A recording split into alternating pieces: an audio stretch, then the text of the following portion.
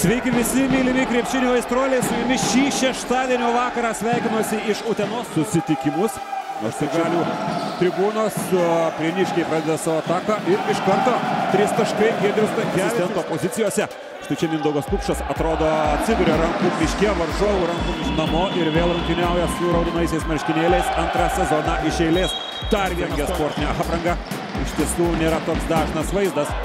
Krepšinėje Žuanas Durhamas blokuoja.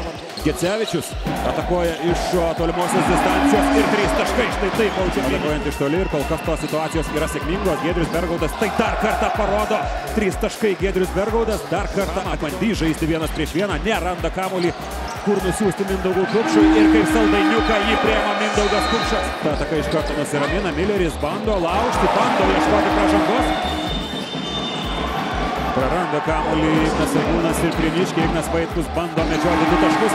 Ir taip Ignui Vaitkui. Ir gali išsiveršti į priekį trijų taškų persvarą. O iš tos trijų taškų persvaros kol kas lieka tik vienas taškas, kadangi Žuanas Durhamas bandė pastatyti užvarą jam Žuanas Durhamas. Ignas Argiūnas pats nusprendžia atlikti metimą. Saugo Kupšas suranda Rapolą Ivaнаuską aikštės krašte visiškai laisvą.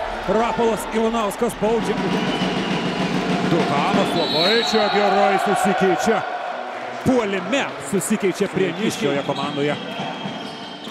Visą sezoną Erikas Venskus savalaikis perdavimas jam ir du taškai į krepšį. Aukščiausios lygos Bilbao klube. Rapolas Ivanauskas gauna čia kamuolį ir dar kartą, dar kartą Rapolas Ivanauskas vis dar šiuose rungtynėse žaisti negali. Jis vis dar kol kas LKL pirminybėse nepasirodė. O čia Mačiulskis baigė savo pasirodymą. Rezultatui esant kol kas lygiam nusistumė. Legaliai nusistumė Giedrius. Triškumo dar trūksta. Tačiau tokiuose pirminybėse bausti jis gali, o štai čia Petas Mileris. Ivanauską numeta kamuolį Ignui Vaitkui, Vaitkus iš toli ir trys taškai.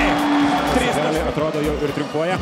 Petrikas Mileris, du taškai su pražanga, Jonas Klejičius yra bejėgis prieš tai šį sekundėmis atlikto Petriko Milerio metimo finalinė sirena šiose rungtynėse ir dabar galime skelbti jau oficialiai 88 75 ištikimiausi Utenos Juventus komandos ir galiai jau skanduoja, mes laimėjom.